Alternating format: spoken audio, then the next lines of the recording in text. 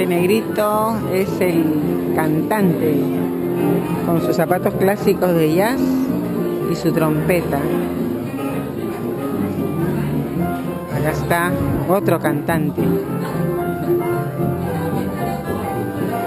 Y bueno, todo esto es el buffet que ya prácticamente se acabó.